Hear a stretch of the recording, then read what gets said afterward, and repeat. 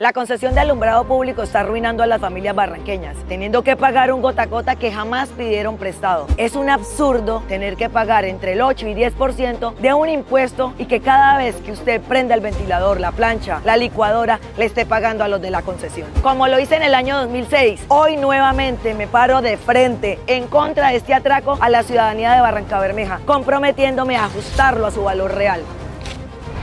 Nuestra campaña no está financiado por la concesión del alumbrado público. Por eso tengo toda la autoridad moral para acabar con este negocio, porque Barranca Bermeja no se vende, no se hipoteca y no se negocia.